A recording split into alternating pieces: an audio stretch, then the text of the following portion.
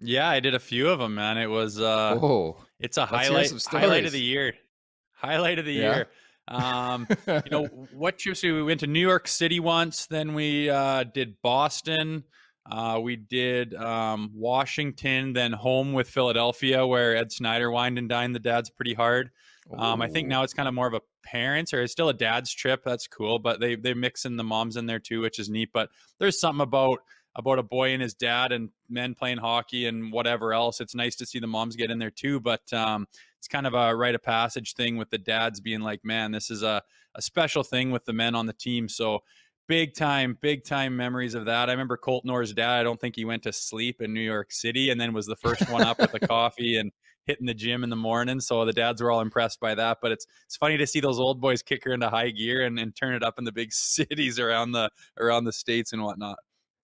Didn't you tell a story earlier this season? I think it was on Broadway. You didn't expect to play, and your old man was on the trip, and you guys got after it a bit, and then you ended up being in the lineup. Didn't you tell that story?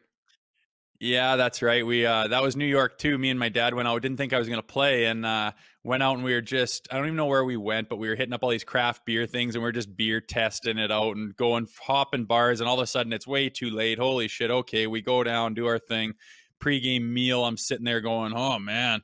What are we going to do today? We are going to go check out New York a little bit and see some sights. And Ron Wilson comes up and he's like, Hey, you're in tonight. And I was like, okay.